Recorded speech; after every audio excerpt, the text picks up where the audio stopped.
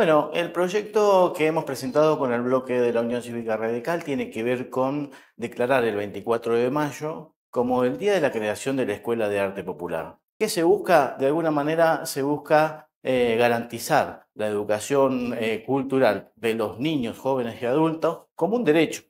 pensando que en, ese, en ese intercambio de saberes entre lo popular y lo académico se pueda encontrar o se fluya el gran proyecto de extensión que la Universidad de las Artes de, Río Negro viene llevando adelante a partir de que se conformó como una universidad y también la firma de los convenios con eh, la Secretaría de Cultura y los distintos municipios de la provincia.